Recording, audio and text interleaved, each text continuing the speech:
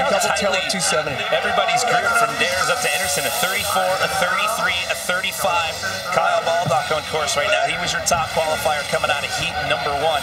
bar catch bar, and Kyle's obviously figured the lines out. I think that makes him the favorite. I mean, not against the entire field of five, but if you had to pick one guy based on how he rode in the in the prelim, that this would be it.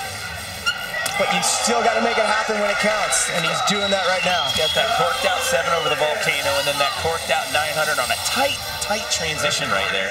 Well, Kyle's known for doing some of the hardest tricks in the business, like that tail whip flair, making them look easy, but he does everything like a little bit higher, or sometimes a lot higher than everybody else, and that that stands out.